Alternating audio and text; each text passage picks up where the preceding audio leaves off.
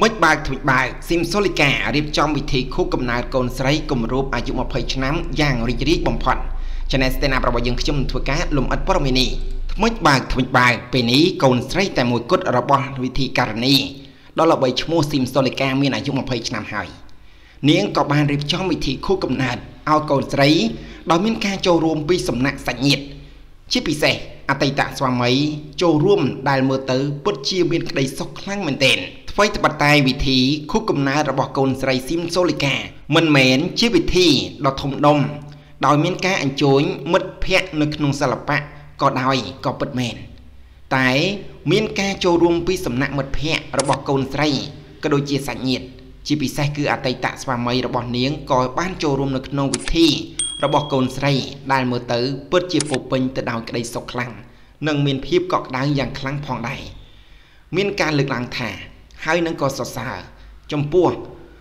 អ្នកទាំងពីរគឺស៊ីមសូលីកានិងអតីតស្វាមីរបស់ស៊ីមសូលីកាបើទោះបីជាបែកគ្នា ហើយមានដៃគូថ្មីរៀងរៀងខ្លួនក៏ពិតមែនតែកូនស្រីរបស់ស៊ីមសូលីកានៅតែមានក្តីសុខដោយសារតែឪពុកម្ដាយរបស់នាង នៅតែបន្តការរាប់អានគ្នា និងផ្ដល់ក្តីស្រឡាញ់ឲ្យនាង នៅក្នុងថ្ងៃខុបកំណើតកូនស្រីស៊ីមសូលីកាក៏មិនភ្លេចបង្ហោះសារ ដែលមានអត្ថន័យយ៉ាងជ្រាលជ្រៅថា20ឆ្នាំកន្លងទៅហើយពេលនេះម៉ោងនេះម៉ែកំពុងតែឈឺផងភ័យខ្លាចផងត្រេកអរផងគិតសំគិតគ្រប់ប្រឹងប្រែងណាស់ទម្រាំបានឆ្លងទន្លេរួចរាត្រី8វិច្ឆិកាឆ្នាំ2000ឥឡូវឆ្នាំ2020ម៉ែបានបង្កើតនិងបីបាច់ថែរក្សាកូនស្រី ម្នាក់ដ៏ឆ្លាតហើយគួរឲ្យស្រឡាញ់បំផុតម៉ែសូមបួងសួង ដល់បារមីវត្ថុស័ក្តិសិទ្ធិនៅក្នុងលោកនេះ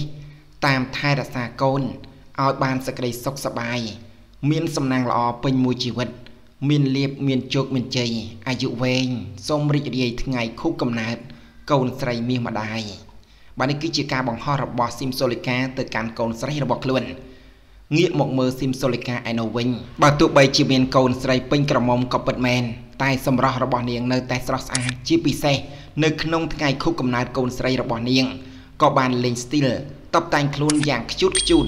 មើលទៅអ្នកទាំងពីរដូចជាបងប្អូនបង្កើតនឹងគ្នាអញ្ចឹងពេលនេះផងដែរស៊ីមសូលីកាមិនទាន់មានដំណឹងល្អនៅឡើយទេបើទោះបីជា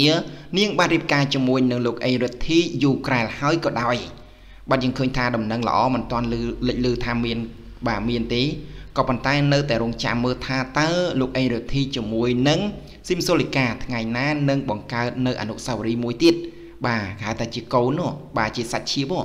បាទមិនទាន់លើដំណឹងទេហើយក៏យើងនៅតែរងចាំក៏ដូចជាប្រិមិត្តដែលជា fan fan របស់អ្នកទាំងពីរគឺរងចាំថាតើថ្ងៃណាដែលស៊ីមសូលីកានឹងអាចពោពោះនោះបាទបញ្ជាក់ព័ត៌មានដែលខ្ញុំបានលើកឡើងនេះក៏សូមបញ្ចប់ដើម្បីបន្តបាននូវព័ត៌មានបន្តទៀតសូមជួយចុច like ចុច share និងចុច subscribe លើ Channel Stand Up របស់យើងខ្ញុំផងដែរបាទសូមអរគុណសូមជម្រាបលា